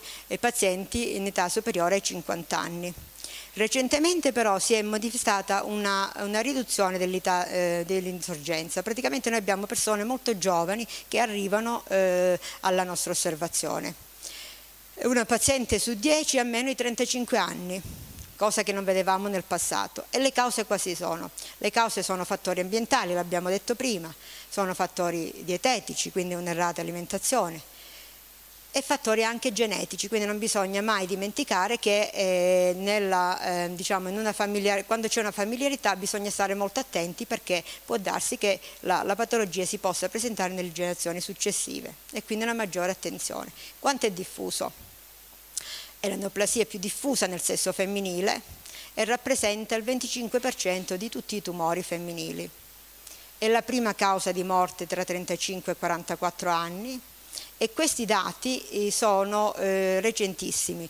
Eh, questi dati sono portati all'ultimo congresso eh, nostro nazionale degli oncologi medici, l'AIOM, che si è svolto in ottobre e praticamente ehm, ogni, abbiamo 53.000 nuovi casi nel 2018 e c'è una differenza tra nord, centro, sud e isole. Allora, l'incidenza dipende quindi dallo stile di vita, dipende dall'alimentazione e dall'inquinamento ambientale, dall'industrializzazione, da dall'ambiente in cui viviamo. L'incidenza cambia nelle varie, nelle varie regioni, l'abbiamo eh, fatto vedere anche prima il collega, allora l'incidenza è, di, di, circa 35.000 casi, il 6% delle donne eh, ha una distribuzione diversa la malattia nelle, nelle diverse macroregioni, nel nord abbiamo un 3%, al centro il 5% e nel sud il 9%. Ma anche la mortalità cresce? No, per fortuna no perché eh, 8 donne su 10 riescono a guarire. In Italia vivono 500, più di 500, ehm, 522 mila donne che hanno avuto questa diagnosi e che stanno bene. E perché c'è un calo nella mortalità? Il calo è dovuto ovviamente a un'anticipazione diagnostica. Su questo possiamo fare molto, no? con le campagne di screening, con la prevenzione e anche con i progressi terapeutici, perché noi sappiamo che oggi lo curiamo meglio rispetto al passato e quindi questo fa sì che cresce anche la sopravvivenza. Cosa abbiamo di nuovo? Il Fondo Nazionale per la ricerca sul cancro ha concluso il lavoro di revisione, anche nel caso della mammella, sui 10 punti, come per le altre patologie, di, di, di, su cui puntare l'attenzione proprio per prevenire il cancro. E quali sono? L'abbiamo detto prima, una un riduzione del peso corporeo, una maggiore attività fisica, anche valgono le stesse cose che per le altre forme tumorali, una diminuzione della, mh, del consumo di alcolici e non fumare. Anche nel caso del tumore alla mammella è molto importante evitare il fumo perché è una concausa di malattia e la giusta alimentazione, come abbiamo detto prima, su questo non mi dilungo perché è stato molto esaustivo il collega Ruggeri, fare eh, uso di, di eh, verdure, di alimenti che possono eh, non fare, eh, fare bene non appesantire l'organismo. Anche l'allattamento al seno è, deve essere incentivato perché è un fattore protettivo per la donna. Quali sono i fattori di rischio? Allora, possiamo dire che è importante anche l'età della, della, prima gravidanza, no? È importante perché eh, quando si, ha, eh, si è eh, nullipari fino a un certo lasso di tempo è logico che c'è un maggior rischio di ammalarsi. E quindi un menarca eh, tardivo e una menopausa precoce o precedenti patologie benigne alla mammella, anche quelle devono essere attenzionate perché possono predisporre a questo al tumore. La familiarità, lo stile di vita l'abbiamo detto, l'esposizione a sostanze eh, diciamo, nocive e le mutazioni genetiche, quindi stare attenti a quelle che sono le, eh, le malattie familiari ed evitare determinate cose che possono incentivare l'insorgenza del cancro. Lo screening, abbiamo detto che cos'è, è un programma condotto sulla popolazione sana che è a rischio e, e ovviamente eh, prevede l'esame mammografico gratuito, l'abbiamo detto, dai 50 ai 69 anni e riduce del 35% la probabilità di morte e il 25% delle neoplasie vengono diagnosticate con dimensioni inferiori a 2 cm. Ogni giorno infatti nella nostra attività vediamo eh, delle piccole neoplasie facendo questo, eh, questo programma di screening. L'altro giorno con la dottoressa e con il dottore Galè abbiamo individuato un, un tumore di 8 mm. Eh, sapete cosa significa questo? Significa la guarigione perché individuare una malattia così piccola significa che anche se si attuano tutte quei, eh, quelle metodiche successive però mh, la, la paziente riesce a stare bene a guarire perché è una malattia che è localizzata, come abbiamo detto, solo alla mammella, per cui la risoluzione è facilissima. Quindi quali sono le regole che noi dobbiamo seguire? Dopo i 25 anni bisogna fare sempre una vista senologica, anche se non facciamo la mammografia, ma fare una prima vista per vedere se notiamo qualcosa di diverso e stabilire qual è il nostro stato di salute fare l'autopalpazione, noi lo diciamo sempre, dai 25 ai 45 anni bisognerebbe eh, fare almeno ogni 2-3 mesi l'autopalpazione, soprattutto quando si fa la doccia, eh, quando eh, così mh, mm, facciamo l'autopalpazione cercando di eh, riscontrare qualcosa di anomalo nel nostro seno, no? Eh, un, un, nodulo, qualcosa che mh, mm, si, si, sente ancora di più perché eh, sotto la doccia siamo insaponati e quindi ovviamente la mano scivola e riusciamo a percepire una variazione. Su indicazione si fa un'ecografia quando notiamo qualcosa che non va e eventualmente poi si approfondisce anche con la mammografia, ma dopo i 50 anni bisogna fare la mammografia. In alcuni casi dubbi riguardiamo meglio il problema, approfondiamo il discorso e notiamo se c'è qualcosa da, da fare oltre l'esame mammografico, un'indagine più accurata. E noi dobbiamo prestare attenzione in generale a questo, a un nodolo duro al seno, all'ascella, che prima non c'era, a un, la comparsa di un gonfiore sulla ghiandola mammaria, a qualcosa di, di cutaneo, un'irritazione sulla pelle, a un cambiamento nel nostro fisico, a un cambiamento anche nel capezzolo, a una secrezione, a qualcosa che prima non c'era. Allora la, il riscontro di queste cose ci deve porre eh, eh, diciamo, in condizioni di andare poi dal medico e di seguire i controlli. Spesso facciamo ecco, un agaspirato sotto guida ecografica. E se questo non basta andiamo a fare anche un esame bioptico quindi andiamo a prendere un pezzettino di tessuto e analizziamo il tessuto. Così facendo, una volta che noi abbiamo completato questo percorso e siamo arrivati ecco, anche, alla, anche, in una fase iniziale alla, alla diagnosi di carcinoma, poi il, si, si, mette in moto il team multidisciplinare di cui parlava la dottoressa Spinelli e allora eh, ognuno di noi operatori, dal chirurgo all'oncologo, mettiamo in atto quelle che sono le nostre conoscenze e ci adoperiamo che eh, eh si possa risolvere il problema della, della signora in esame. Quindi concludendo che cosa possiamo dire? Che insistere nell'educazione, nell'informazione è il passaggio fondamentale per combattere il cancro e la prevenzione è la vera arma vincente. Quindi affrontate questo problema e cercate di essere sempre eh, responsivi a questi nostri progetti, a queste nostre attività, perché noi lavoriamo per voi, per la salute di tutte le donne. E con questo vi ringrazio per l'attenzione. Eh, grazie dottoressa Molinaro. Dobbiamo partire quindi da una, dalla consapevolezza che dal cancro si può guarire. Importantissima è la diagnosi precoce che può essere aiutata dall'adesione sistematica ai programmi di screening. Ricordiamoci però che gli esami non sono sempre infallibili, che gli esami hanno comunque dei limiti, per cui cerchiamo ve lo ha detto più volte la dottoressa Molinaro, di stare attenti ai segnali del nostro corpo e di attenzionare qualunque modifica e cambiamento. Nel caso in cui percepissimo qualche modifica anche dopo aver effettuato gli esami di screening, rivolgiamoci al medico di fiducia per cercare di evidenziare la, il problema e trovare quindi eventuali esami ulteriori da effettuare. Quali sono ora questi esami mammografici eh, dello screening mammografico? Eh, ne parlerà il dottore Galea che è direttore, come dicevo, della struttura complessa di radiologia e diagnostica per immagini, lavora non solo alla Mezia ma anche a Soveria ed è inoltre il referente clinico dello screening mammografico per tutta la provincia dopo quello che è stato detto eh, io posso benissimo passare eh, quasi ai saluti eh, perché diciamo gran parte è stato già fatto però ovviamente tralascerò alcune diapositive che avevo preparato non è diciamo, una formalità ma veramente ringrazio la dottoressa Spinella e Spinelli e gli organizzatori perché per l'entusiasmo che ci mettono nel fare ogni volta queste, eh, questi incontri. Eh, si è già parlato di come il cancro della mammella sia molto importante e ovviamente ringrazio le, eh, almeno due mi pare di siano, le due tecniche eh, di questo presidio, la signora Talarico e la signora Chiodo che sono qui presenti e che eh, quotidianamente seguono questi esami. Allora, si è già detto come in effetti l'incidenza varia nei vari paesi, come eh, più si va verso città, eh, popolazioni tra virgolette eh, meno sviluppate, quindi meno industrializzate, eh, e più il tumore si riduce come eh, incidenza. Però già di questo ne ha parlato la dottoressa Molinaro. Mi, mi, mi meraviglia che non ci siano molti medici di base perché molte cose già le potrebbero individuare loro se eh, cominciassero a visitare come bisognerebbe fare senza aspettare che già la donna da sola eh, evidenzi qualcosa.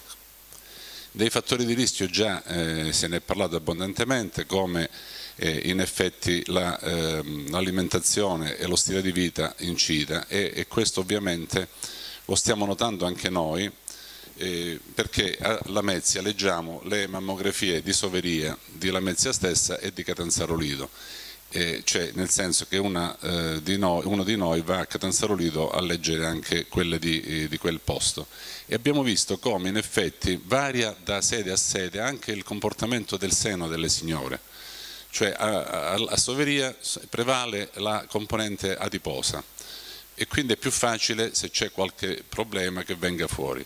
Mentre è più complicato eh, esaminare le mammelle degli altri siti anche se adesso abbiamo delle macchine che ci facilitano molto.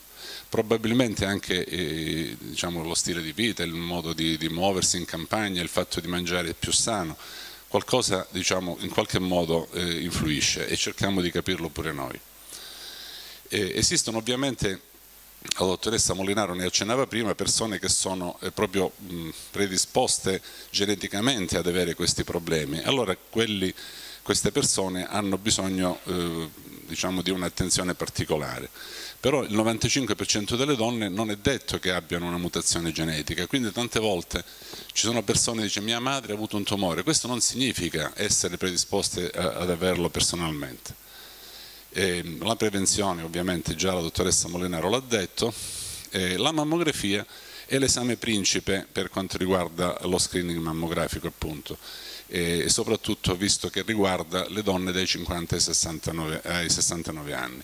Si fa in due proiezioni, quindi in obliqua non so se da qui posso, no, vabbè, si fa eh, soprattutto in due proiezioni, in cranio caudale, quindi schiacciando dall'alto verso il basso la mammella, e in obliqua, quindi schiacciandola in senso appunto eh, dallo sterno verso l'ascella.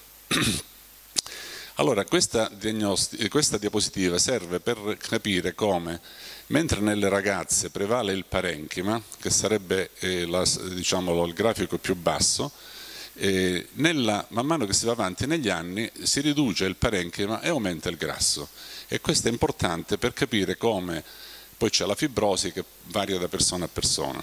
Eh, questo è importante per capire come in effetti nelle donne giovani è più importante fare l'ecografia, la mammografia serve di meno perché c'è meno grasso, mentre invece la mammografia è importantissima eh, dopo i 50 anni quando prevale la componente grassa.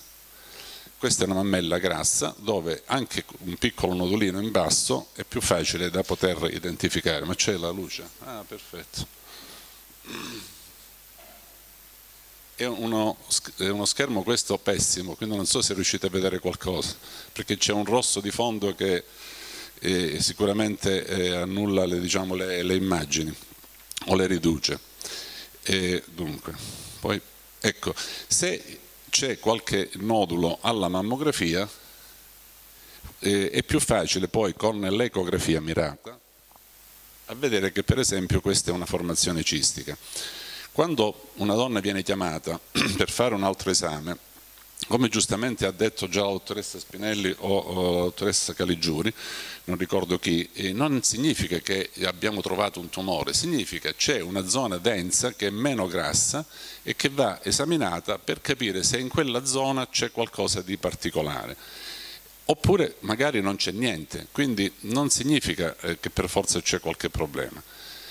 quest'altro per esempio che è sempre un nodulo alla mammografia eh, è un nodulo solido, un fibroadenoma quindi serve anche per tranquillizzare perché non sempre una donna ha fatto già degli esami e quindi ha già eh, una, eh, una, sua storia mammografica per cui eh, un nodulo già sapeva di averlo. A volte è un fatto nuovo ed è giusto tipizzarlo per capire che tipo di nodulo si, tra di si tratta.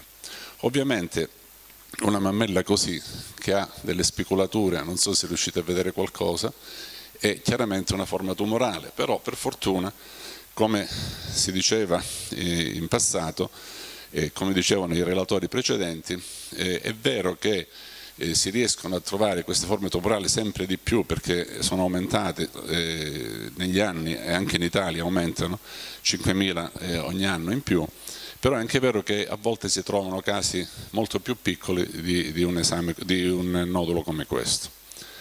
E allora concludendo, Qual è eh, il messaggio che deve restare? Nelle donne sotto i 40 anni, ha già detto la dottoressa, e si fa l'esame clinico da parte del curante, spero, ed eventualmente, oppure se con l'autopalpazione una ragazza, una signora giovane ha sentito qualcosa, oppure si passa all'ecografia ed eventualmente all'ecospirato. Perché?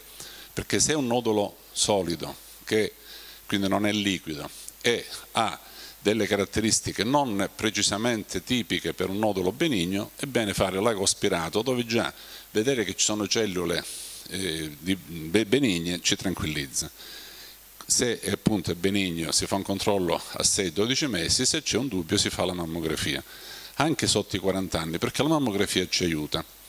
E a questo proposito bisogna ricordare come, grazie anche al centro screening, Abbiamo un mammografo eh, su ogni presidio, anche a Catanzarolide e a Soverato, oltre che a Soveria Mannelli e alla Mezzia Terme, che diciamo, ha la possibilità di fare anche la tomosintesi. Che significa? Significa che la mammella viene fatta a fette, cioè quello che noi vediamo non è solo la sommatoria di tanti strati, ma vediamo proprio strato per strato si può comunque non vedere qualcosa di molto piccolo, però è meno probabile che succeda.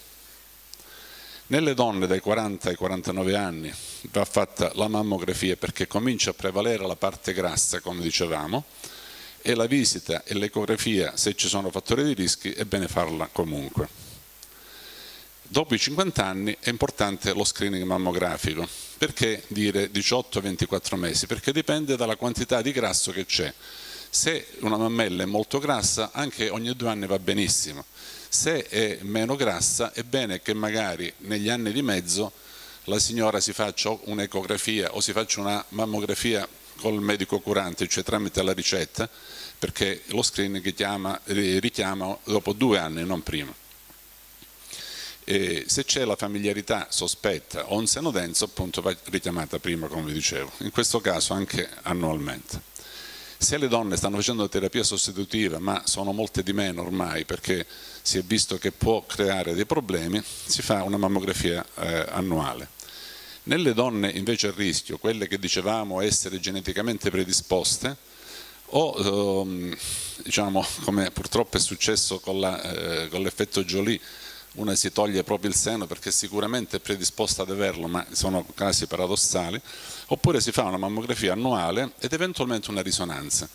La risonanza è un esame che usiamo fare pure noi giù alla Mezia e serve nei casi eh, dubbi oppure nei, nelle pazienti appunto, che sono sicuramente predisposte, perché è molto sensibile e eh, riesce appunto a valutare se quella zona che è sospetta prende contrasto, quindi arriva lì, eh, diciamo, c'è una vascolarizzazione che rende quella zona attiva, non una zona diciamo, eh, cicatriziale o comunque diciamo, eh, spenta. E a questo proposito, sempre grazie anche alla partecipazione economica della, dell'ufficio screening, eh, a febbraio partiremo con le mammografie col mezzo di contrasto e saremo gli unici in Calabria a farla perché eh, si è visto come eh, nel tempo si può sostituire la risonanza con la mammografia col mezzo di contrasto. Quindi eh, si collabora insieme a loro e si cerca sempre di fare eh, diciamo, de, nell'interesse della eh, della popolazione il, eh, il nostro dovere. Grazie. Grazie al dottore Galea. Quindi, se avete ricevuto la lettera di invito e appartenete alla fascia di età 50-69 anni, o se non avete ricevuto la lettera di invito, riflettete sull'importanza di effettuare questo esame. Ma se lo volete fare con la ricetta, io vi do un motivo per non farlo. Perché? perché le persone che leggeranno la vostra mammografia, se andate al presidio ospedaliero di Lamezia Terme, sono le stesse che la leggono con eh, lo screening. Ma c'è di più. Nel caso dello screening, la vostra mammografia può avvalersi della tomosintesi, quindi di questo sistema che permette, dire, di fare affette la, il seno, la mammella e quindi di poterla visionare in una maniera eh, più approfondita. Ma i radiologi lettori sono due, quindi nel caso in cui ci sia una difformità nella lettura, perché vi ripeto è un esame comunque soggettivo, dipende dall'abilità dell'operatore, dall'esperienza, dall'acume in quel momento, nel caso in cui ci dovessero essere due letture differenti, noi prendiamo la lettura che è stata eh, più negativa. Quindi se uno dei due lettori la dichiara assolutamente negativa mentre l'altro esprime un dubbio, noi consideriamo l'esame dubbio e andiamo ad approfondire sempre gratuitamente. Tutti gli esami sono gratuiti, abbiamo degli ottimi professionisti rispetto al privato, la capacità di lettura, la bravura di, nella lettura è espressa dal numero di esami che vengono letti. Ebbene, noi possiamo vantarci di avere dei lettori di mammografie che hanno all'attivo un numero di esami che può decisamente competere con numerosi punti di vantaggio rispetto agli altri eh, lettori. Possiamo farvi arrivare fino alla fine del percorso grazie alla presenza del dottore Tedesco che è anche un bravissimo chirurgo nel campo senologico. E se volete comunque rimanere nella nostra provincia ci avvaliamo del, dei chirurghi dell'ospedale pugliese e dott del dottore Leone e della dottoressa Ren dell'azienda ospedaliera Mater Domini, sempre come screening, quindi noi possiamo indirizzarvi sulla base della vostra eh, libertà di scelta, della vostra opzione, su una di queste strutture. Se poi volete andare fuori siete liberissimi di farlo, ma quantomeno andrete con una diagnosi precoce. Quindi vi ringrazio dell'attenzione, Ringrazio di nuovo tutti i presenti, vi ringrazio per essere stati qui, ma anche per il contributo che ci darete per sostenere questa causa comune. Grazie di nuovo.